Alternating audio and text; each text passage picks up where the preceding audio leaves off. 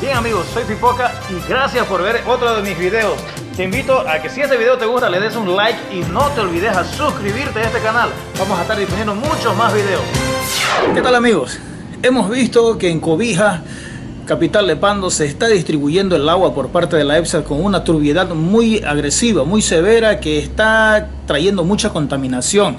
Este líquido elemento es vital para las familias y yo quiero darles un consejo para que usted pueda purificar un poco su agua, para que ella quede más apta para el consumo humano. No va a solucionar totalmente el problema, pero va a aliviar un poco el tema de la contaminación en cuanto a bacterias y cloroformos fecales que pueden haber dentro del agua que está llegando a su casa. Para eso vamos a utilizar un vaso que es muy conocido porque es el vasito que usan normalmente en las aceitunas. Entonces la medida va a ser muy común.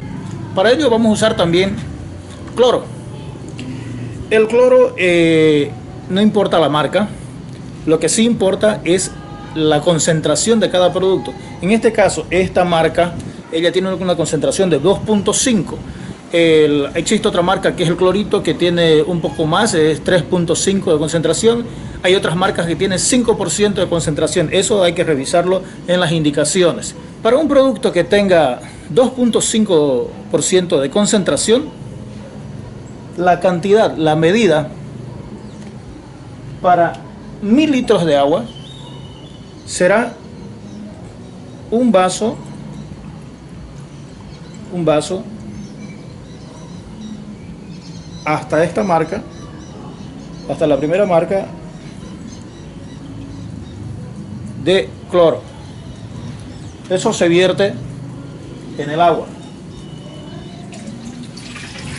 Si la concentración fuera del 5%, apenas la mitad de este vaso. Eso va, va, a contribuir a que usted pueda mejorar el estado de su agua. Entonces va a poder eh, usarla para cocinar, para lavar ropa, para bañarse y así evitar eh, enfermedades estomacales, diarreas, eh, tifoideas, como también enfermedades de la piel.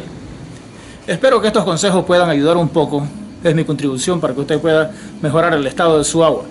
Porque estamos en tiempo de lluvia y esto está para largo. Gracias por visitarnos. Si te gustó este video, dale me gusta y suscríbete al canal porque vamos a tener muchas cosas más adelante. Nos vemos.